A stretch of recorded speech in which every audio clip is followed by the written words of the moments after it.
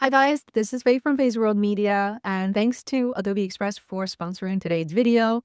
By the way, if you're watching this, our next big art event, as you can see, is going to be hosted at the Tatnuck Bookseller in Westborough, Massachusetts, December 13th from 11 a.m. to 2 p.m. I would love to see you there. There will be a celebration of Chinese empresses, but also with a ton of merch, one of which is the new collection called Chinese horoscope, aka Chinese zodiac animals. So I partnered with Adobe Express because the holiday season is really stressful. I have so much to do, exhibitions and art talks to run.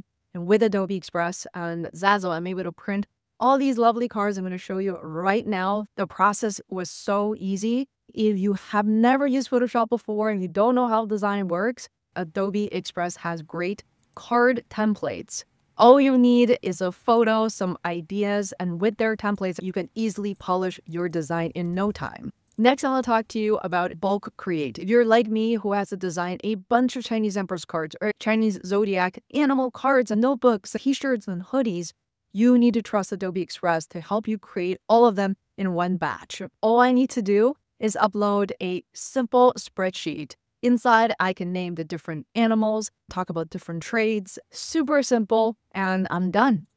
With a spreadsheet, Adobe Express can create up to 99 personalized designs very quickly.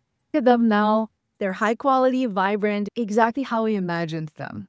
From now until January 15th, you'll be able to get 50% off on all print jobs, and this offer applies to all US and UK orders make sure you use your desktop version of the Adobe Express app. So this season, skip the stress, whether you're doing it for family and friends or you're a creator like us who is exhibiting and hosting all these community events, you can bring your holiday ideas to life through print. I can't wait to see your creations. Please be sure to let me know in the comments below.